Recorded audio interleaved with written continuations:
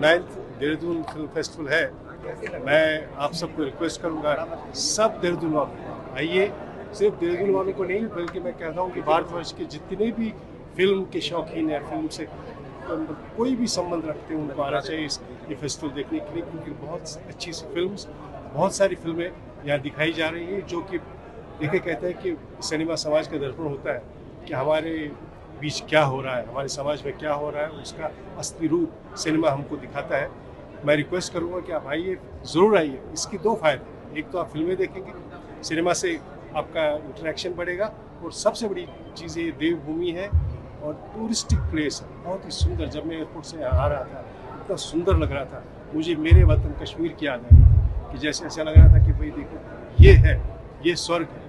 तो जैसे आपके मिनिस्टर साहब ने कहा ये देवभूमि है, उसके अलावा ये स्वर्ग है। तो आप फ़िल्म के साथ साथ स्वर्ग का भी दर्शन कीजिए। इसलिए मैं रिक्वेस्ट करता हूँ कि आप आइए, ज़रूर आइए। देहरादून फ़िल्म फेस्टिवल को एंजॉय कर लीजिए।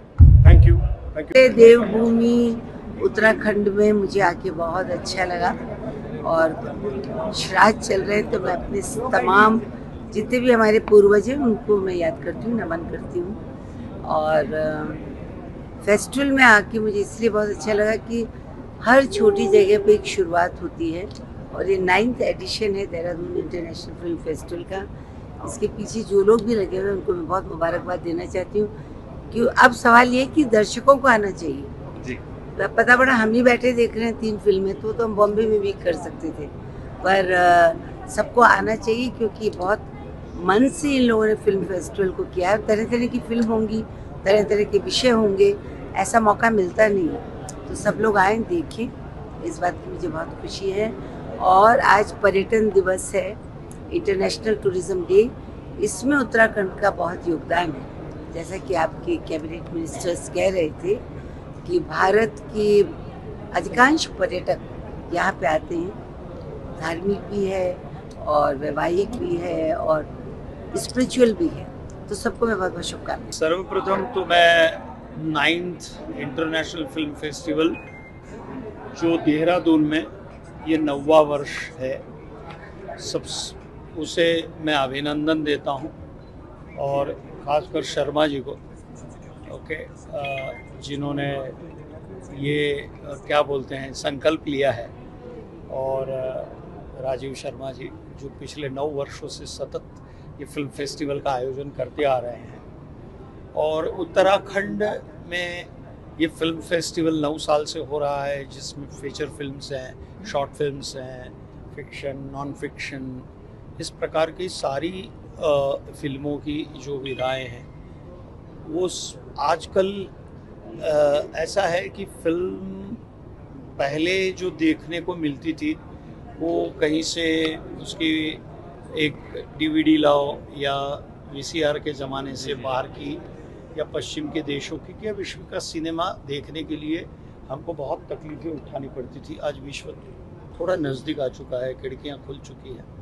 तो विश्व का सिनेमा और भारत का सिनेमा, इसमें अंतर क्या है तो मैं ये कहूँगा कि भारत जो है वो हज़ारों साल से स्टोरी टेलर है, यानी कि कथा कहने वाला अगर पहला देश है तो वो भारत है। जी।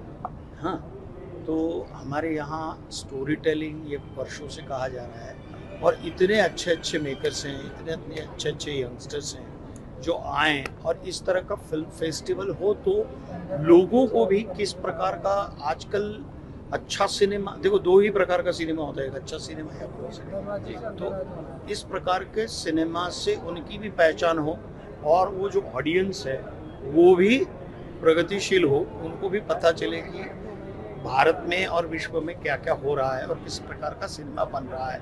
और दूसरी एक बात मुझे उत्तराखंड बहुत प्रिय है बहुत प्रिय है। मैं देहरादून हरिद्वार ऋषिकेश आते रहता हूँ और मेरा प्रिय स्थान है ये। एक तो देवभूमि है। यहाँ की फ़िल्म पॉलिसी बहुत अच्छी है। और इसीलिए यहाँ ज़्यादा से ज़्यादा शूटिंग हो रहा है। इट्स शूटिंग फ्रेंडली स्टेट बहुत शांत प्रकृति के लोग हैं। और यहाँ हमारे माननीय मुख्यमंत्री जी धामी जी बहुत अच्छा काम कर रहे हैं। और उन्हें भी बहुत सारी शुभकामनाएँ।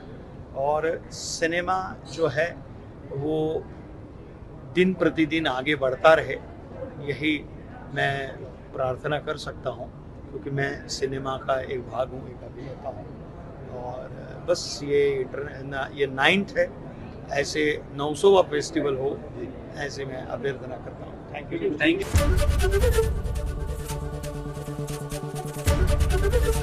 ABP Ganga खबर आपकी जुबा आपकी।